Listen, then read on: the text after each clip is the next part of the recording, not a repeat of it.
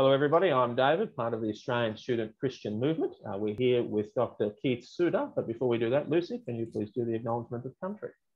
Yes, thank you, David, and um, thank you, Keith. I'd just like us to think about the land that we're on at the moment. Uh, we're actually made of it, and there were people that looked after it for a long time before we got here. And I just want to acknowledge the elders, past, present, and emerging, because I know the local ones here on Gaia Buljaraware lands not only do they uh, give us welcome, but they also acknowledge our ancestors and us and who's coming after us. And I just thank them for the wisdom that they do uh, pass on if we uh, want to avail ourselves of that, because they know that to move into the future, we all need to do that together. So thank you. Thank you. And to add to that, we're going to be hearing about the Club of Rome and they talk about the need to listen to all voices, including those of Indigenous people. I'd like to introduce our guest, Dr. Keith Suter. He has achieved three doctorates on the international law of guerrilla warfare, on social and economic consequences of the arms race, and a third on scenario planning. He has been appointed to many prestigious roles throughout his career, including chairperson of the International Humanitarian Law Committee of Australian Red Cross in New South Wales, chairperson of the International Commission of Jurists, New South Wales, Director of Studies at the International Law Association, the Australian branch, Managing Director of the Global Directions think tank. He's also a member of the prestigious Club of Rome since 1993, which will be a focus of our talk. So, Dr. Suter, please take it away. Thank you. Now, what is it that you'd like me to explain the Club of Rome and what we're about? Yes, that'd be great. Yeah. So, the Club of Rome um, was started in a public way back in 1972. Back in 1968, um, there were uh, meetings between Aurelio Peccei, who was an Italian industrialist and one of the people responsible for the post war economic recovery of Italy as a modern industrial democratic state, and Alexander King, um, who was uh, from Britain and had had a number of, of government posts, was then at the Organization for the Economic Cooperation and Development, which is based in Paris, basically the club of rich Western countries. These two individuals had been reflecting separately on the nature of economic growth within society. Remember, we were recovering from the war. Um, at, least, at least I remember that. I, I was born immediately after World War II. Uh, recovering from the war, the economies were ticking over very nicely. And these two people, quite separately, asked, what are the implications for the environment? Now, in those days, nobody talked about the environment. Um, the UN Charter, for example, does not contain the word environment. Uh, environment was mainly um, um, a matter of preserving historic houses and castles, etc. Um, there was some move towards cleaning up the air um, and reducing the amount of toxic pollution going into rivers. But basically, people were just so happy enjoying their wealth that nobody actually said, well, what's it going to do to the, the land, if you like? It's the issue that's just been raised with Lucy. Um, and so these two people meeting together in Buenos Aires at a conference, realizing that they were thinking on the same uh, terms, and realizing also that computers had been invented, decided to uh, finance a study uh, of a number of young students, some of whom are still alive, to look at what would be the long term consequences of continued high rate of economic growth. What will it do to the consumption of resources, the pollution of the air, pollution of the sea, etc.? And that book, their report to this Club of Rome, uh, was published in, in 1972. The Club of Rome, let me explain, is not connected with the Roman Catholic Church. It's not something out of a Dan Brown novel. Um, instead, uh, Aurelio Peccei, uh, head of Fiat, was based in Rome. And so said, well, look, we'll create a think tank, which in those days was a very new idea. We will base it in Rome. We'll call it the Club of Rome. Now, of course, you have a Club of Madrid, Club of Budapest, etc. It's very fashionable also to create your own think tank uh, like Tony Blair has done in retirement or Bill Clinton, etc. But this was very much a pioneering move. And the report to the Club of Rome looked at the what they called the limits to growth. Namely that if the world continued with a high rate of economic growth, then we would end up with immense environmental catastrophe. And, the, and we would exhaust uh, the easily available resources, etc. This was a highly controversial document in 1972. It was attacked by both the left and the right. So the left um, said that Karl Marx had assured them that all problems could be solved by technology, therefore don't worry about the environment. And the right said all problems can be solved by the market, so don't worry about the environment. And so criticism from both ends meant that the Limits to Growth report was the biggest selling book on the environment in world history. Millions of copies were sold around the world thanks to criticism from both the left and the right. But unfortunately, it did give rise also to this suspicion that the Club of Rome was a very sinister group, a cabal, uh, getting ready to take over the world. So if you Google us on YouTube, etc., you'll see some of that conspiracy theory stuff. It's basically a hundred individuals concerned about what's going on in the world and want to think about the world's problems in three ways. So one is that the thinking goes across disciplines. The problem with academics is they get to know more and more about less and less until they know everything about nothing. They're over specialized. The Club of Rome brings together political scientists like myself, um, economists, uh, business people, etc., and environmentalists, of course, all to take a more holistic view of it. So, number one, they think across disciplines. Number two, they think across national lines. So we we've talked about the future of the globe or the future of Europe rather than individual countries. And then thirdly, we think long term. The problem with politicians is that they have the concentration span of a flea. And so what we're wanting to do is just to look long term. And the fate of the Club of Rome report, the first one, to Growth, is a good example of this.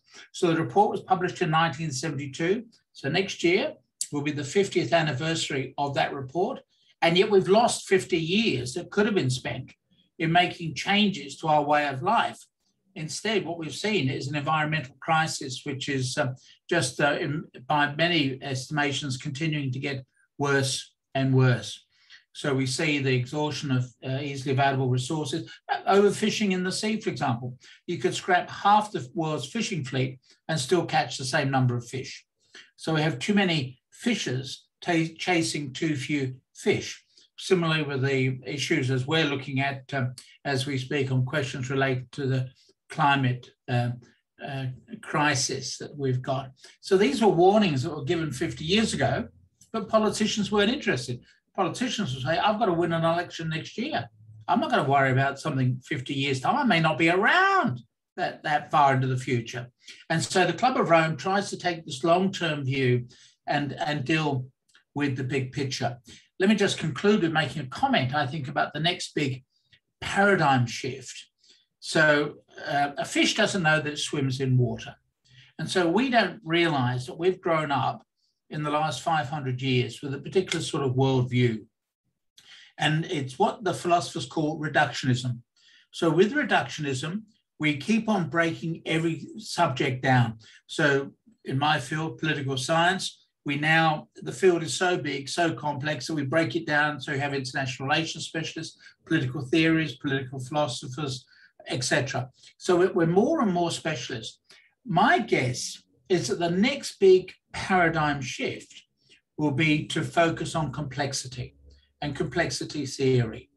And we are acquiring a more sophisticated knowledge about how the world works. Now, Indigenous people have known this for millennia right? I'm just intrigued by the work done by Dr. Susan Simard in uh, Canada. Uh, and she talks about how trees communicate with each other and how they assist one another. So when a, a human walks into a forest, the trees are talking to each other. They're not talking uh, using words, but instead they're sending signals through their root system. And so we're beginning to realize that when you cut down a mother tree, as she calls them, a very big old tree in a forest, you're actually disrupting the lives of a lot of other trees around it. So we're actually getting a greater sense of, of complexity. Now, if I take the example of Australia's Indigenous peoples, um, I recently came across a program of lectures given at Oxford And this was in actually 1972. And I'm listed there as one of the presenters. And in those days, um, I was talking about the human rights of Indigenous peoples. Before I came to Australia, I came to Australia in 1973.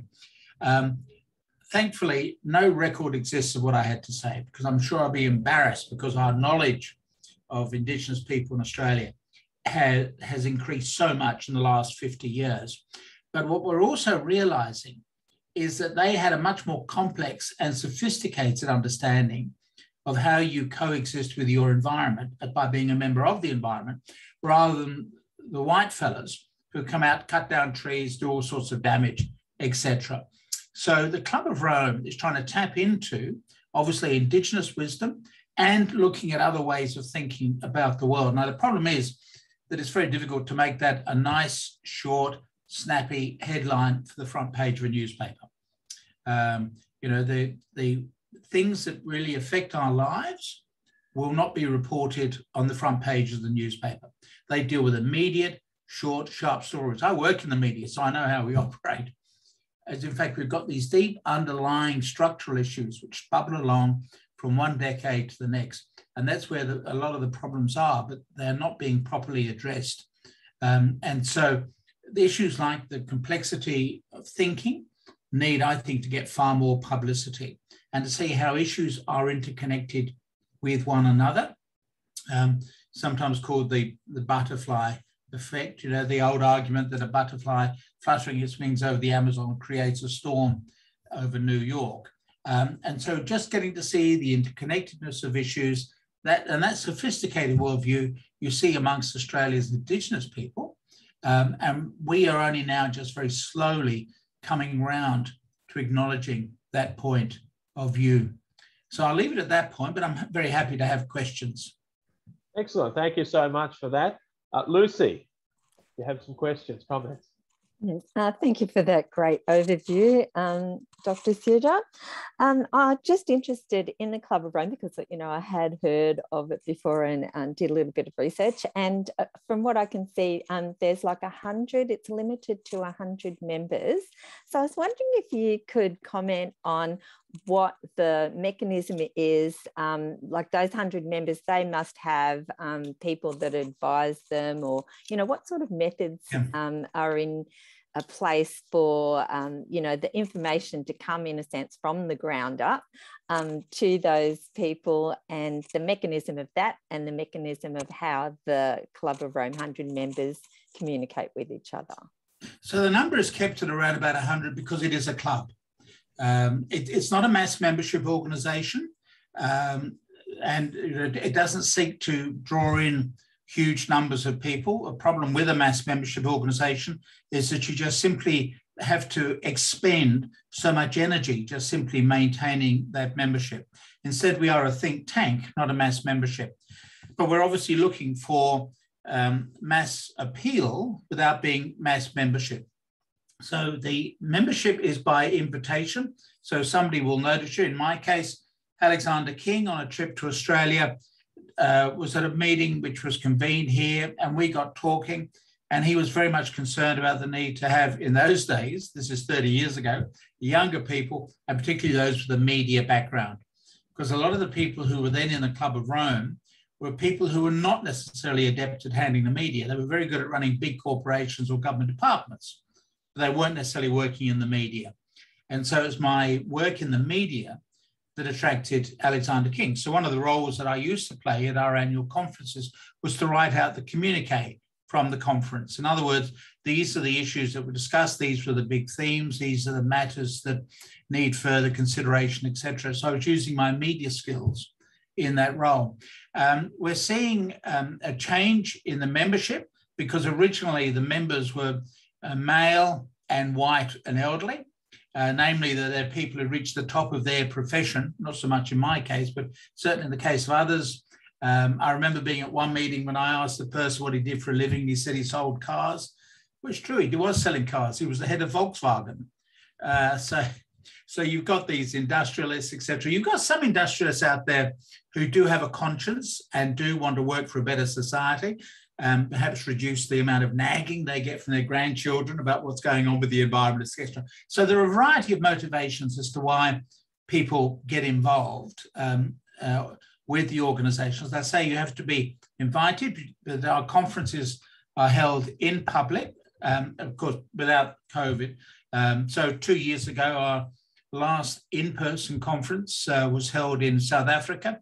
Um, which was very interesting. I got to meet the great grandson of Nelson Mandela, which was a interesting experience in itself. Uh, so that was open to the general public. Um, so uh, the conferences that we hold are open to the public, um, despite what you might hear from you know the people who read Dan Brown novels. It's not a conspiracy.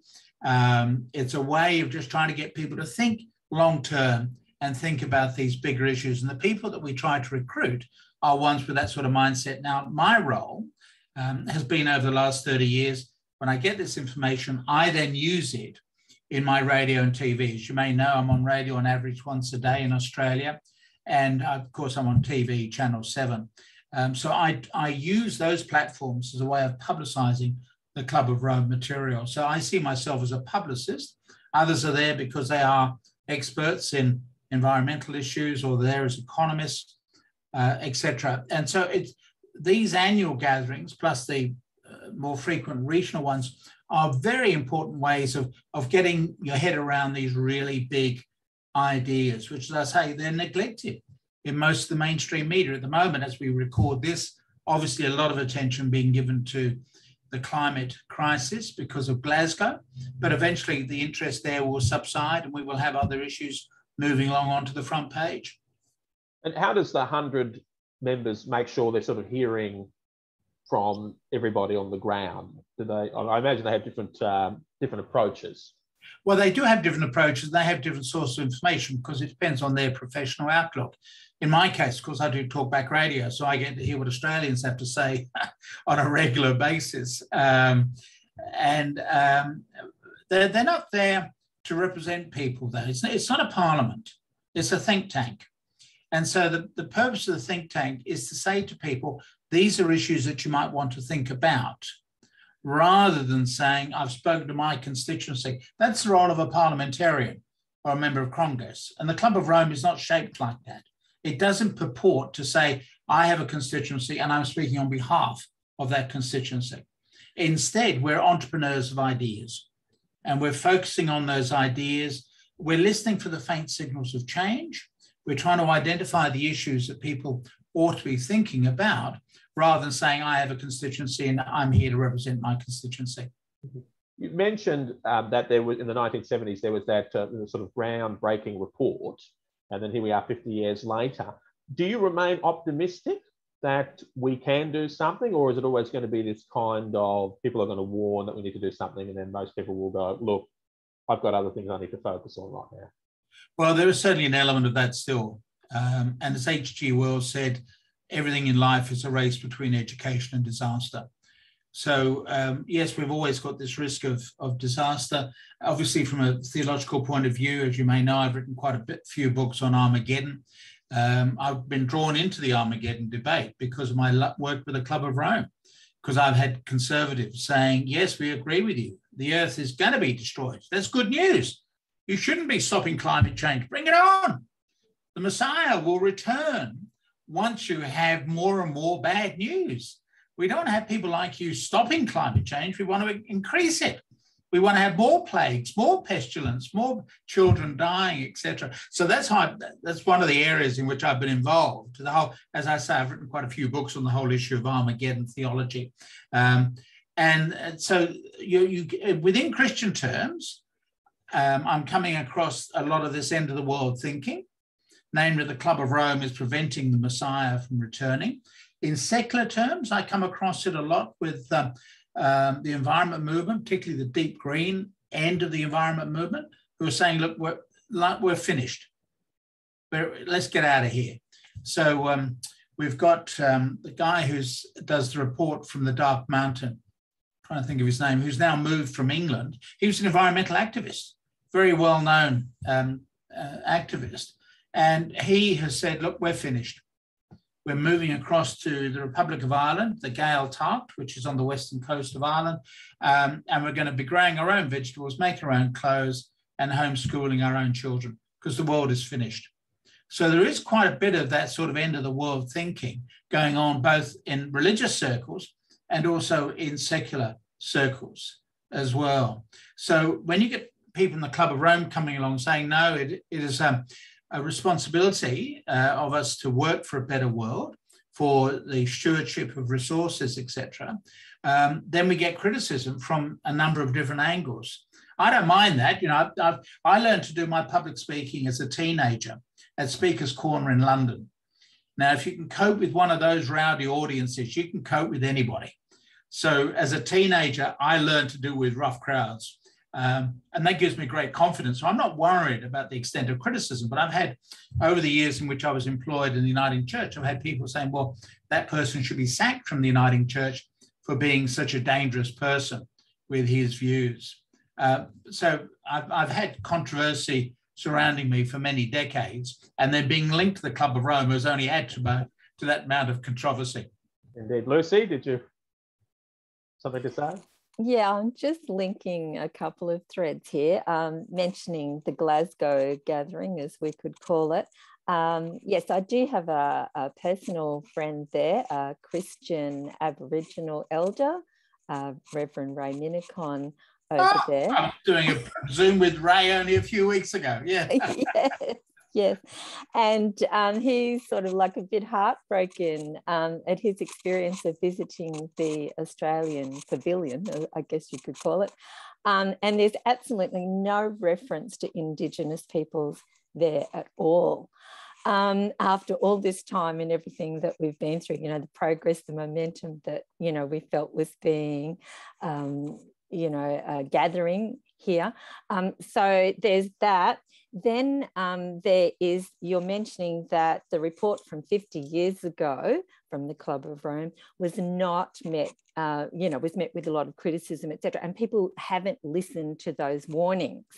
So you've got two instances there of you know like not listening not going with something that you know seems to be very important for a more cooperative human future i guess you could say and then the mainstream um, media uh, which i you know have respect that you're involved with etc um, but it seems as though that yes people aren't really listening so, do you know anything um, that the Club of Rome is doing uh, to use other communication methods? I mean, here we're talking about the Christian faith, where you have um, small groups, you have a lot of hope.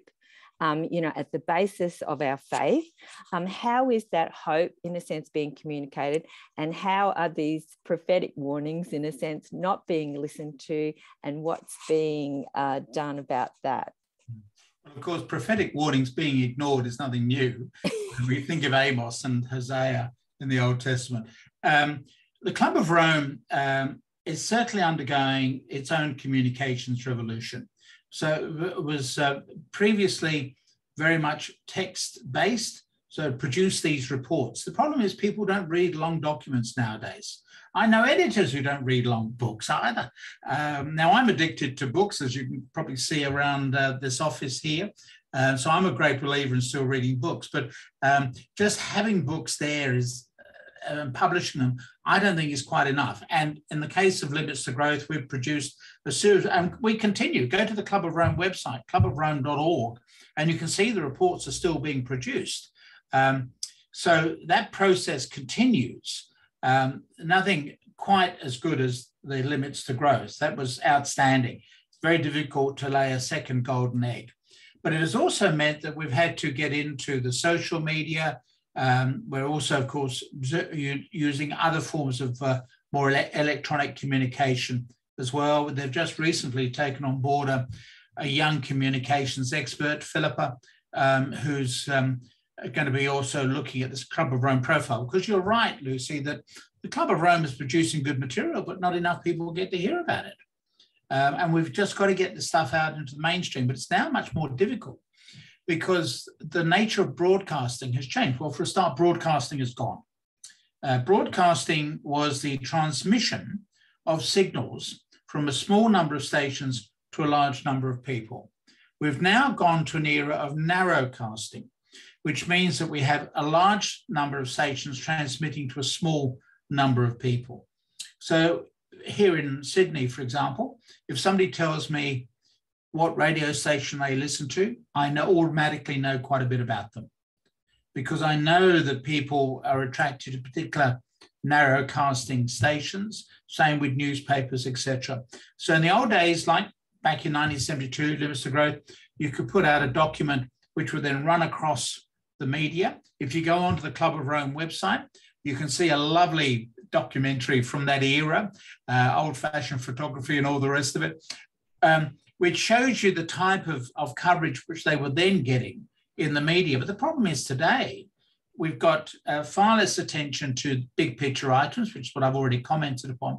And people now, particularly with social media, tend to have very short concentration spans. We're actually, there, there is a debate that's going on as to whether or not we're actually rewiring our brains. Now, that, again, this is not a new issue. If you go back to Plato, so we're now talking about 3,000 years ago, Plato, or two and a half thousand years ago, Plato argued that people should not be taught to read and write. In other words, that they had to keep everything in their memory, a bit like Australia's Indigenous culture. It was stored up here. They didn't go around with notebooks. It was all stored up here and then relayed from one generation to another in what's called an oral culture. Um, now we're in a debate about what we've obviously learned to read and write, and literacy is now widespread. Um, but we're, we're no longer getting the same sort of memories that people would have had in an oral culture. In an oral culture, you hear something once and that's it. You forget it, you're in trouble. Whereas I come across people who are forever making notes on their mobile phone or on bits of paper, etc. Um, and so it is very difficult to try to communicate with people where, that, where they've got a fragmented perception of reality. And it's just one sensation after another a cat video followed by video footage of a massacre in Africa, etc. It's actually very difficult to try to communicate fully with people. May also go one step beyond, which is a, a bit heretical for a, an academic like myself. The, the assumption that we make with education is that people will think their way through to a new way of living. So, in other words, we expose um, youngsters to novels and they then learn uh, from the experience of the people in the novels and hopefully become better adults. So they, they're doing their thinking and then it changes behavior. I'm not convinced now about that. Um, you come across medical professionals, for example, who know the dangers of smoking, but they still smoke. So, my view is that you don't think your way through to a new way of living, you live your way through to a new way of thinking. In other words, that as the climate catastrophe gets worse, to use the example you've raised, Lucy, of Glasgow, as the climate catastrophe gets worse, then I think people will move into a new way of living um, because they've got this new way of thinking being forced upon them. And the Club of Rome has argued that the 20th century will be called the century of economics because it was in that century we worked out how you get economic growth, made some sort of mixed economy.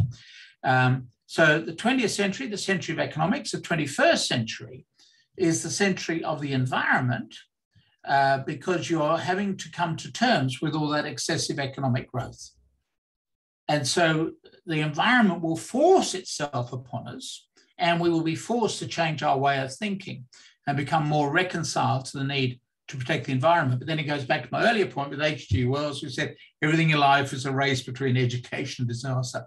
Will people make the change in time, or will we end up with a, a really bad future, particularly for the children and grandchildren coming through now? Do you think they'll make the change? Do I think people will make the change? I hope they will. I'm an optimist, right? Um, as Jürgen Moltmann said, um, we are, as Christians, we are commanded to hope. So we have to be hopeful people. We have to convey hopefulness in what we say and how we act on a daily basis. Um, but I am aware that um, with all this exploration of outer space, we have never yet come across other life forms. And I'm aware that some scientists are saying, well, there is a, a form of evolution that goes on in, in the universe and you reach a certain level and you just destroy yourself. You wipe yourself out. And it's worth bearing in mind that there are more extinct civilizations than currently thriving ones. Uh, like the Roman Empire has gone, the Aztecs, etc. Those empires have gone, those ways of living. Um, so if, if, you're a gambling person, as a Methodist, of course I'm not, but if you're a gambling person, you'd have to say, hmm, I'm not sure what the odds are for our surviving. what do you As I say, I'm hopeful. So I, you know, I just continue to work. You said before about some environmentalists think we're done for. You've got some religious people saying we're done for. What do you say to the environmentalists when they when they say that to you? Well, the fact is, you can't reply with any sort of a reasonable amount of information because only the future will tell us which which which way of thinking was correct. Um, we can point to certain improvements in, in our way of life. Um, I'm a Londoner. I grew up in World War II. So I've, I have, like everybody who lived in London after World War II, I've got emphysema. Small amount, but I've got it. Why? Because we burnt so much coal in London. And you used to get these pea souper fogs that you see in the Hollywood movies, you know, the murderers creeping around and these things. I can remember a time when you, you could not see the other side of the street. You could hardly see more than about a yard in front of you because of this yellow fog. That's now gone. It's uh, and you can actually now go back to catching fish in the River Thames uh, in central London. So there have been improvements, but I, I, would have to say that if you're discussing the future of the world with a, a gloomy environmentalist, uh, my, there's nothing I could say would win that person over, and there's nothing that person can say is going to win me over. We just have to wait to see what the future holds for us. And is that the same with the ones that say Armageddon's coming? That's a good thing. Well, um, my reply to that is from the Olivet Discourse in Matthew, where Jesus said that no one knows the hour or the time.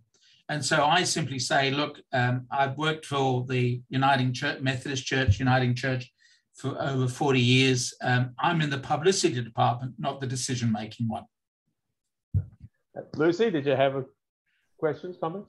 Uh, yes. Um, it, just um, carrying on with that, yeah, it's not about intellectual persuasion as such, um, which leads me on to thinking of what you were talking about about living your way into uh, living into the new way, not just um, thinking about it. And yeah, because I'm a bit similar. I talk act your way into a new way of thinking instead of thinking your way into a new way of acting. So very very similar there. Because um, I take a lot of uh, comfort, I guess, in a sense, um, from a lot of um, the recent research that's that's been done on the relationship between the heart and the brain. So, you know, our um, in, not so much just our emotional intelligence, but physiologically, that, you know, the uh, electric fields and all that sort of stuff around it are much, much, much more powerful than the brain. They're always measuring, you know, brain uh, activity, etc. But the heart actually gives impulses to the brain. It's not the brain just organizing everything in our body. So a lot of people don't sort of realize that or that this research is going on. So that sort of brings us back to the faith thing because, you know, there's a lot of things that uh, Jesus said about the heart, the importance of the heart. It wasn't only about the mind. So that's why, you know, it's art, mind, you know, everything about us um, that should be involved in, you know, a flourishing life. Um, so, um, yeah, I was just thinking about that um, in terms of reaching people, um, not just through the intellectual uh, persuasion, mainstream media, but heart to heart with people. And I think, again, it's, you know, the grassroots, there's a lot of power. People don't realize the power that we as individuals have and that we, we as individuals join together things. So we can have the external um, uh, things that affect us, like you were saying, um, the environment forcing us, uh, you know, to live differently. But also, um, there are things if we um, communicate heart to heart.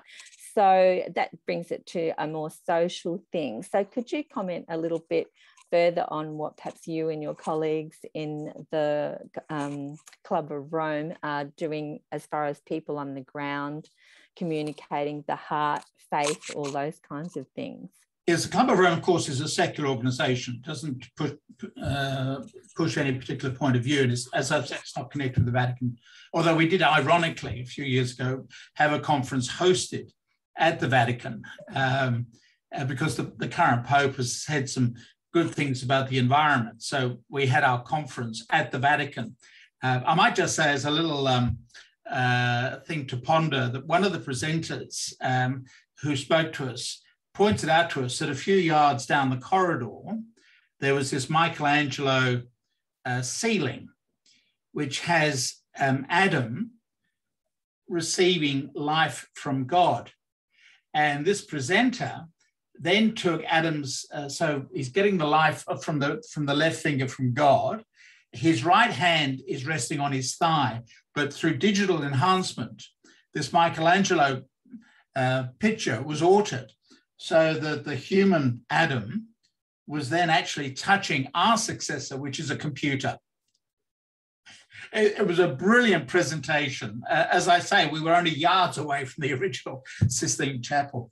Um, but we're not, as I say, we're not officially associated with the Club of Rome or any other religion. What you're saying uh, reminds me very much about the work that we do in the Methodist Church about small groups and that the importance of the networking that goes on and networking in a variety of contexts. Remember, the Club of Rome is a club.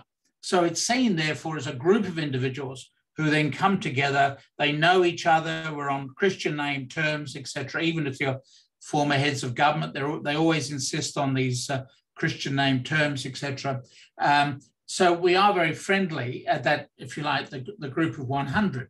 But we also encourage when people go back to their own countries um, that they also do all that networking. So networking is a form of social capital. And we know that uh, if people are going to have any impact in society, they need to have a lot of social capital. In other words, the personal connections. Another term here is the power of weak links. In other words, instead of just having the same old handful of people that you meet with on a regular basis, you try to meet with a variety of people. And so that, that's the strength of the weak links. And so that goes back again to the role of personal example. I think also on the question of personal example, I might say that I've never owned a car. Um, so I'm somebody who got the environment bug quite early. Back, ironically, in 1972, um, I was on, uh, as a, a, young person, I was on the uh, UN Association Youth Committee in Great Britain, planning for the Stockholm Environment Conference. So 1972 was a key year for the environment. You had limits to growth and the first of these really big international conferences. Um, and that was on the UN conference on the human environment in Stockholm. Um, and so I was introduced to the environmental issue quite early on uh, through this element of personal connection.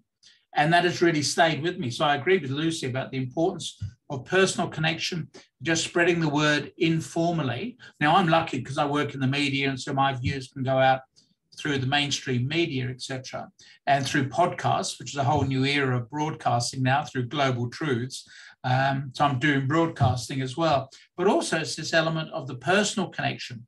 And people trust people when they can see them in the flesh. I might just say um, in 1982, I was appointed the General Secretary of the Uniting Churches Assembly Commission on Social Responsibility. And a particularly big issue that year was the nuclear arms race. And uh, so the Uniting Church took a very strong line in opposing nuclear weapons. Now very fashionable, but it wasn't back in 1982. And the Bulletin, uh, which was then a, a, a weekly conservative news magazine in Australia, did an article on the new left's new power bases. And I was one of those identified as part of the new left. Um, it didn't get very far with Uniting Church because a lot of Uniting Church congregations said, Look, we've had this person speaking to us on a Sunday. He doesn't look like New Left to me. He doesn't dress like the New Left, even. So, so it is that personal contact, which was very important with this previous controversy back in 1982. And with the, oh, sorry, sorry go you go, David. I was just going to say, with the complexity of the issues, and that's like across the board with any issue, and you said the difficulty in getting people to understand issues are complex. How can you change that, or are we just kind of hardwired to it needs to be simplistic? Um, well, there is an element of our being hardwired because we like to simplify life, and life is just so complex. So if you go back to the earlier part of the environment debate back in the 1970s, we talked about the population bomb. Um, not so much Club of Rome, that was Paul Ehrlich. um, and he was talking about too many people in the world. Um, therefore, the argument was, well, we've got to do much to reduce population. I'm now doing radio programs on the risk of running out of people. China, for example, may grow old before it grows rich, and China is our major customer. Uh, so we're running, Japan is running out of people. Uh, Russia is running out of people. Um, so it shows how you solve one problem, but then you create others, which is why the Club of Rome back in 1972 talked about the global problematique. In other words, how all these issues feed into one another. And if you look at the current agenda of the Club of Rome, they're dealing with um, emergence from emergency. In other words, how do we, well, to use the American expression, build back better? Um, issues of new ways of doing economics, obviously the whole climate issue, and also how do we mobilize young people? They're the future. You know, dinosaurs like myself are on the way out. Uh, how do we mobilize the young people, get them involved? So what we're trying to do is to show how interrelated, how interconnected all these issues are. Um, and that is a tough job, which is why after 50 years, we're still talking about the limits of growth report because the lack of progress which has been made. But it doesn't mean that we stop. It just means we have to find new ways of trying to have an impact.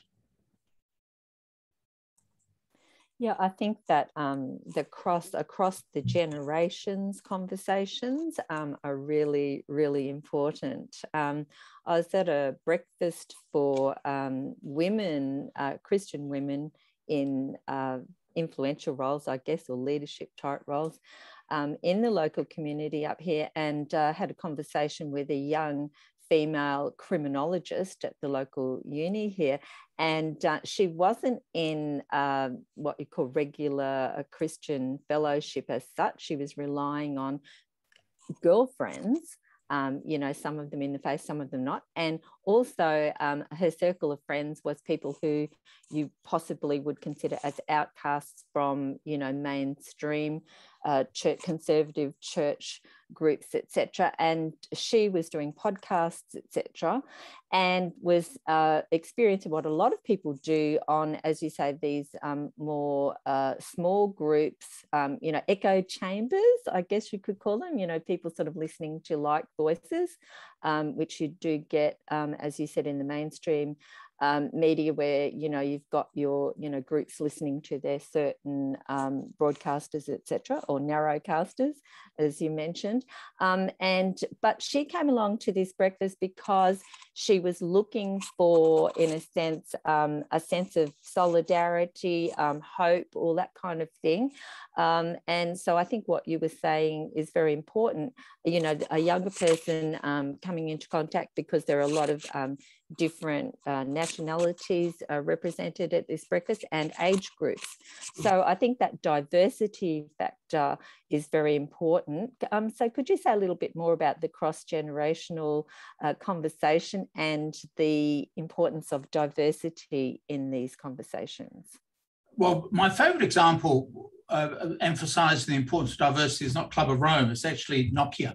So Nokia used to be a fine Finnish company. Uh, it's gone through a few ups and downs. It's bouncing back a bit at the moment. But 30 odd years ago, um, Nokia um, was working on a new technology called texting. So they made their name with mobile phones. They were the biggest supplier of mobile phones until iPhone came along from Apple.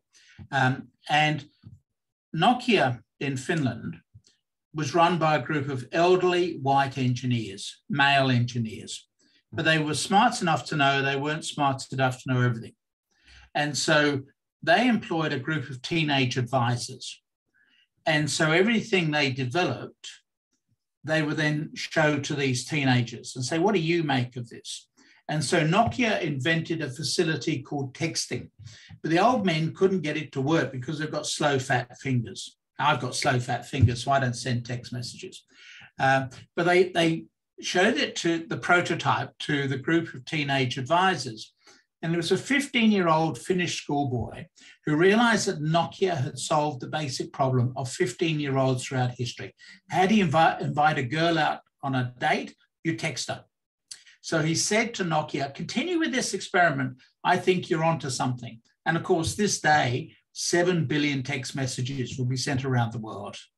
Um, so here you had a 15 year old who could see something that the stale pale males couldn't see. And this for me is the value of a workforce, which, or anything else, including a discussion group, consists of men and women, young and old, black and white, because they, everybody looks at the world differently. Remember, I'm talking earlier about this issue of paradigms. What's the next big paradigm? Uh, moving from reductionism to some sort of more holistic complexity theory based approach to life.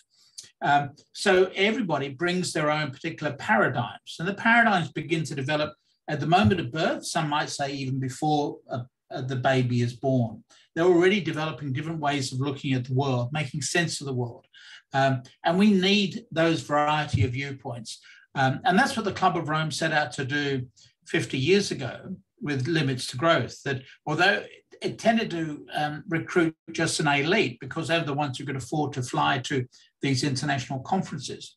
But they were nonetheless aware of their limitations. They sought to invite other people, um, including at one point they had a group called TT30, Think Tank 30, for people aged under 30. So uh, recruiting groups of people expressly because they were young men and women. Um, so you, absolutely, we need to get this diversity of viewpoints. I might just say, if you look at the Australian Parliament at the moment, the lack of diversity there, the groupthink that goes on, um, whereas we really ought to be open to new ideas. Um, and, and so that's what's going to help us get into this new era, new ways of thinking. Yeah, and we've certainly seemed to have this discrimination both ways because I've heard older people say they feel sidelined, you know, in same workplaces. And I've also heard younger people who are leaders who feel that they're not being taken seriously because they're young, which is unhelpful. And I heard a talk from a, a lady who said, oh, we don't want to hire older people because, you know, they're going to retire soon. So why train them? And she was trying to get them to do new thinking and say, well, even if you hired a younger person, they might change their career in a couple of years anyway, or their job in a couple of years. So it's the same kind of thing. Can I ask you a little bit about the rethinking finance and economics? Yeah, so what we're looking at obviously um, is trying to find an alternative to the current system of economic growth. Um, so, for example, one of the um, reports that we put out is on the circular economy. So, if you take something, the standard example um, is the humble little coffee bean, right? I've got my coffee here. That's what keeps me going during the day. Now, 99% of a coffee bean is thrown away. Only one, less than 1% of a coffee bean is actually used. The rest is discarded. So if you're thinking in terms of a circular economy, how can you make something of that 99%? Now, you, you can't give the coffee grains directly to pigs because it makes them high. Uh, but what you can do is you grow mushrooms, which you can eat yourself or you feed to the pigs. So um, companies are now creating whole new industries based on getting much more out of what we currently are using. Um, another example would be uh, the future of automobiles, um, that uh, you will not buy an automobile, you'll basically rent it. And at the, at the end of the life of the automobile, you'll simply ring up the company and say, come and take it away. Now, that gives an incentive to the company to make the automobile of components which they can then recycle and not just put on the junk heap. So that's just one very small example about what the Club of Rome is talking about. So that's the circular economy. Um, and that's um, clearly one of the ways that we've got to move forward. We're not going to say to, that everybody's got to go back to living in caves or anything like that, because you'll get nowhere with that. Uh, but what you've got to do is to think about how you can actually then to start to reinvent the economy so it works for the benefit of humankind rather than just a handful of shareholders. Do you think that like simple living is kind of not the approach that's going to work? Let's all just sort of be very consume nothing, be very simple in our living. That that's not going to work. We have to find ways to kind of re-engineer. I think so. I think if we can get people off their addiction to consumerism, which is a new invention, traditionally we have not had consumerism within societies. That's been invented in the last few decades to keep people working. So there's always a carrot in front of them. So they always have to go on and get a new iPhone each year or whatever. Um, so what we've got to do perhaps is to change our way of thinking so that people are less addicted to um, buying things and focusing on experiences because there's a whole new uh, level of economic activities operating. So if you think about it, your traditional three layers of economic activity were um, the farming or extracting goods from the, the soil like coal, iron. Then the next level is manufacturing. And then the, the next level up is the service sector. So going to the local greasy spoon to get a cup of coffee. We're now at the fourth level, which is called the experience economy. So experiences are abstract rather than something that I buy. So if you go to Starbucks, for example, Starbucks sells you coffee. You can get that at the greasy spoon, but Starbucks says, oh no, this is the third place in your life. You have home, you have work, you have Starbucks. So you can sit in Starbucks all day on your computer, generating brilliant new ideas, etc. So Starbucks is part of that experience economy. Um, so that's where the economic growth is. And that doesn't require quite so much consumption of resources because um, we're actually trying to enrich people's lives. And the, I think the market for experience is basically unlimited. Unlike, say, an automobile, when you can only have, you can only be driving one car at a time. Even if you have a garage full of them, you can only drive one at a time. Whereas with experiences, you can go on and having a variety of experiences. So that may well be a, and, and if you look at the Australian economy, for example, we are digging up a lot of coal to sell overseas. Um, whereas I think the growth would be much more in terms of the experience economy. Tourism, bringing people into this country, letting them see what we have by way of our culture, our environment, etc. And from that point of view, it's important that we have Indigenous people at uh, pavilions at international conferences to advertise uh, you know, part of the visiting Australia would be to be exposed to the Indigenous way of life. So they're an important part of tourism, which I've seen in parts of Queensland when I've been traveling, etc. There's a lot more we can do to develop that.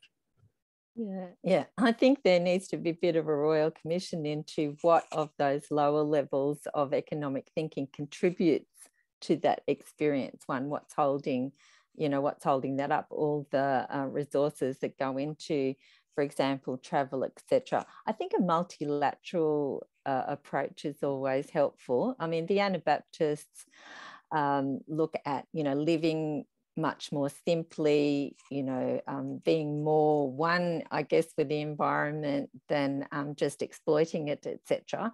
But I do agree with you. I've seen those, um, you know, changes in the economic thinking and outworking um, over a while. Um, I remember, you know, back there was the old future shock book by Alvin Toffler back in 1970. And, you know, some of those things have come true and some of those things have come through in different ways than he expected. And of course, some of them have already run their cycles. Um, but yeah, I think um, it, it's, it's also tied into what you're saying about looking at um, you can dissect things to specialize look how those components work but you've got to see how that they work in together. So even with the experience economy um, you know we've got to look at you know all the contributing factors to make that something that is um, not just sustainable but again for the flourishing of us all um, not just human, but also the environment which supports us. Um, so perhaps if you could say um, a little bit more, um, tell us a little bit more about that experience economy and um, how that um, applies to the rest of those economic ways of thinking? Yeah. So um, the, the, idea of complexity is interesting because it's the difference between a frog and a bicycle. So you can uh, take apart all the components of a bicycle and then reassemble them. You can't do that with a frog. Once you've cut the frog up, you can't stitch it back together again. So what we're looking at, I think now, are new ways of doing finance. Um, it's interesting the extent to which um, you've got the big uh, finance groups who are now well behind on, on the, the, whole climate change issue, who are saying, yes, we have a problem. I noticed this because I'm on the corporate speaking circuit, and I was intrigued by the number of insurance companies that have taken up the climate change issue. This was years ago. And their argument is that we're doing it simply because the, we can tell from our claims against our policies that there is something happening with the weather. We've got no choice but to pay attention to climate change. This is at a time when most Australian politicians were just downplaying it as an issue. So, and that's again, if you like, experience changing our way of thinking because more and more of the finance sector is getting involved in this. Now, in terms of the experience economy, for me, one of the examples coming out of this COVID period has been how we conduct our learning.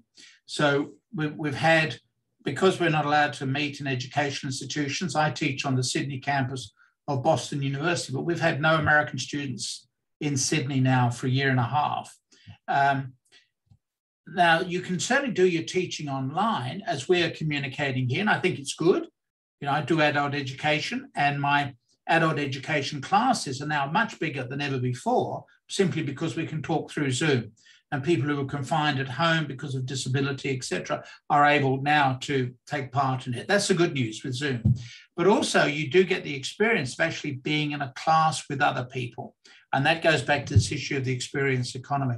So as we start to rebuild our international student market, remember that's our third largest export industry. In the case of the state of Victoria, it's the number one export industry. As we start to rebuild uh, the international education market, bringing students into this country once again, we will see the importance of the experience economy because people are mixing together with, with Australia. And I know with my American students coming out to study on the Sydney campus of Boston University, they're not coming out to hear me, they're coming out to go to Bondi Beach. So that's all part of that experience. Um, and we make sure that our students have good experiences while they're here in Australia. Um, so that is part of the experience economy. And that requires, I think, a lot more attention. It's a pity that so much attention is just given to certain other economic activities lower down, if you like, those three layers. We've got to give far more attention to that fourth layer, the experience economy. Now, I'm very mindful of the time. Uh, so I just want to say for people who are watching this or will watch this and say, oh, why didn't uh, you know David and Lucy asked Dr. Suter this question or that question? You can still ask these questions. Just let us know the Australian Student Christian Movement and we'll pass them on to Dr. Suter.